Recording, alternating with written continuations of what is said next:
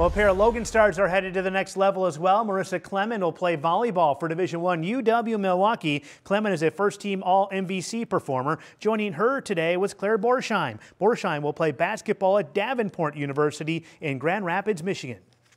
It makes me feel a little old, but I'm excited uh, to go to Milwaukee. And um, actually, this summer I'll go and start early, so I'm really excited for that and to um, kind of get in the gist of everything and be with the team. Davenport was my favorite school I visited. I love the coaches there. It feels like a new family that I'm joining.